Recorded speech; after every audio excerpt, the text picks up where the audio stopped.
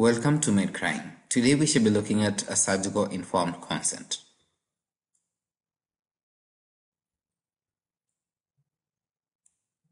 An informed consent is the process in which a healthcare provider educates a patient about the risks, benefits, and alternatives of a given procedure or an intervention. The patient must be competent enough to make voluntary decisions about whether to undergo the procedure or the intervention or not. Therefore, an informed consent is both an ethical and legal obligation of medical practitioners and originates from the patient's right to direct what happens to their body.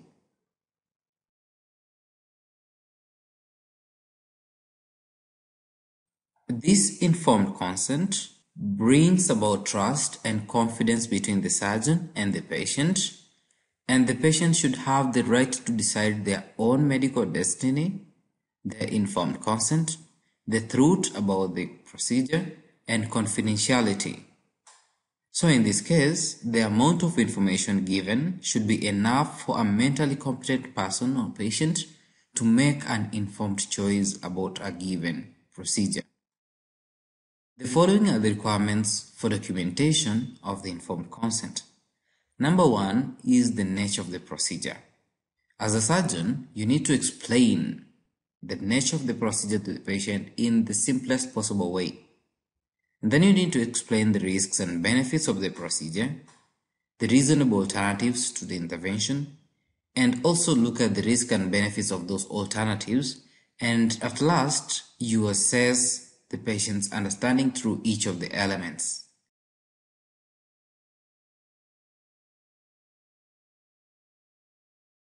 In an informed consent, we have some of the components that we need to look at. For example, the first one will be uh, to describe the proposed intervention that will be undertaken. And then we emphasize on the patient's role in decision making. Also discuss the alternatives to the proposed intervention, discussing of the risks of the proposed interventions, and eliciting a patient's preference, usually by the patient's so this one follows a given order whereby at first you need to assess the preconditions, the patient's competence and voluntariness to undergo the procedure and then you provide the information by just educating the patient on the procedure that they are going to undertake, the recommendations of a care plan and understanding of this information by the patient and then from there we state the consent. In this case, the patient's consent for the procedure and record this authorization in uh, using a signature and their full legal names. And then there are some of the roles of the surgeon and the patient. So as a patient, you must receive sufficient and accurate information about the nature of the condition, the proposed treatment plan, the treatment options, and the prognosis of the outcome and on the other hand, as the surgeon, the surgeon must explain the procedure, the practical implications and the prognosis or the outcomes of the surgery, the risks and complications of the procedure itself, and some of the risk from other aspects, for example, anesthesia administration, intravenous lines, and other alternatives. And then there's some of the good practices when you are administering or obtaining these. Number one, you need to obtain the consent in a suitable surrounding. You need to show empathy with the patient and use the simplest language possible for the patient's level of understanding.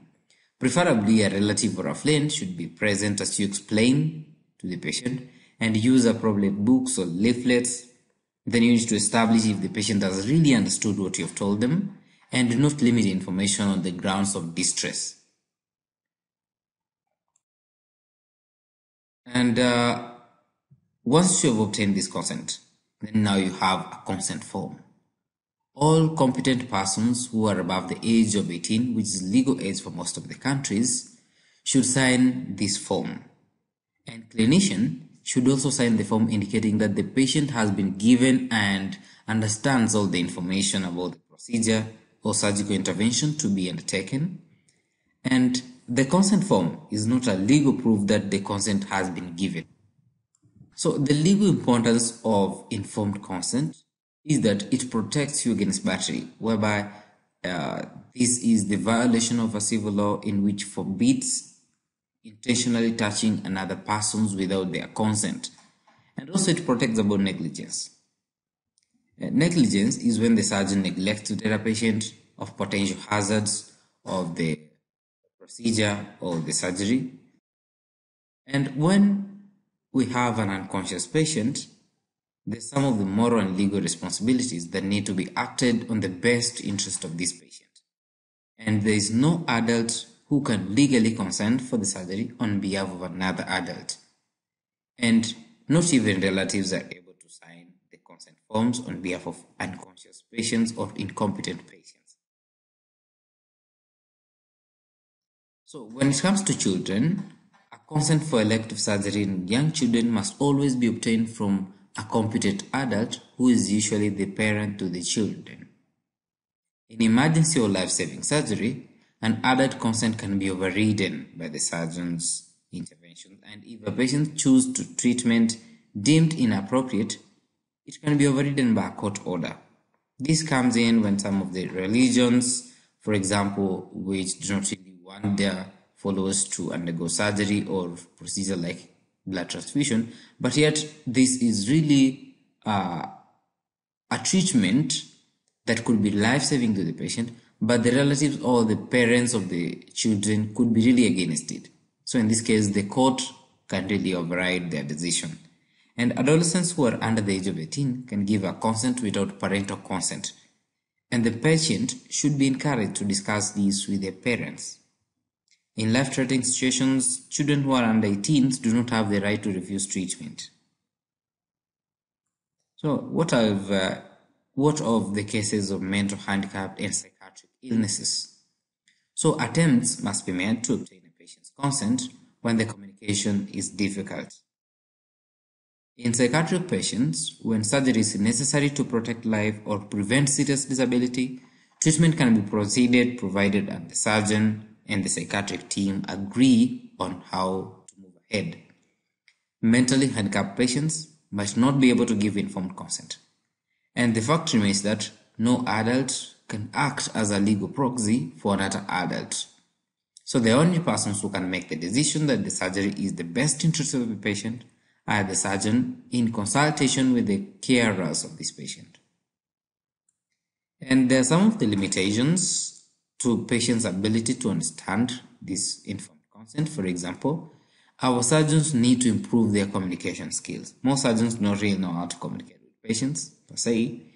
And we also need to learn how to write down what has been discussed with the patient, what will be done, why, the morbidity and the mortality cases associated with the surgery or intervention that is to be done, and a written information to the patient. So we need to leave a copy of the consent form thing. And if unsure of the patient's understanding, we may be forced to postpone the treatment. And confidentiality is one of the key things that we need to put into consideration. And patients have the right to control access of any information which they give the surgeon for the purpose of treatment, except in the cases of serious crime or highly infections and notifiable diseases. And remember, Police have no right to clinical information which may provide evidence for a crime, and patients have no right to harm others through exercising their right to confidentiality. And when we continue with our confidentiality issue, when the patient is unable to communicate clearly, relatives and friends may have to be consulted, and strong attempts should be made to obtain patient's permission. Knowledge about the prognosis and treatment should also remain confidential, and clinical information should not be given over the phone unless the patient has consented so and the person identified. So sharing clinical information with colleagues is implied with consent. So in conclusion, our patients must have a right to give the informed consent. The surgeon must respect this right and provide high standard of care. And surgeons must provide enough information for a competent patient make an informed choice. The express documented wishes of competent patients should not be overridden. Every effort must be made to ensure that the patient's understanding as well as he or she is capable of. If the patient is capable, incapable of choice, if the patient is incapable of choice, the necessity of surgery is the determining factor in this case. Thank you so much.